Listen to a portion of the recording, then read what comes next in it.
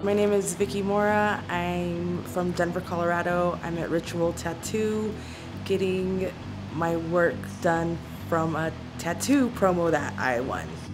I've been following Sandi's work for a couple of years. Um, I used to go to First Fridays a lot and saw a bunch of her work there and just followed her on Instagram and Facebook. And then I saw this promo that she hooked up with Arta Tequila to give away tattoos and I totally had to enter the contest because I wanted to win. Um, when I knew that Arta Tequila was having one of the sugar skulls that Sandi had sketched up for the promotion, I knew that I wanted that as the tattoo.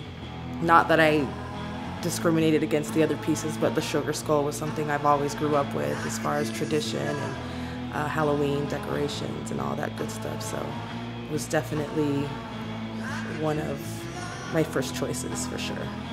I feel like a walking promotion actually for Arta. So if anybody asks, I'm gonna you know give them the whole story and background as far as how it came about and the concepts. I'm gonna be drinking tequila for a long time.